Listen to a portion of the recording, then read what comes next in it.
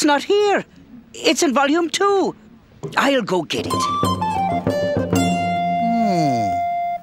If words can hurt, I... yeah, that's it.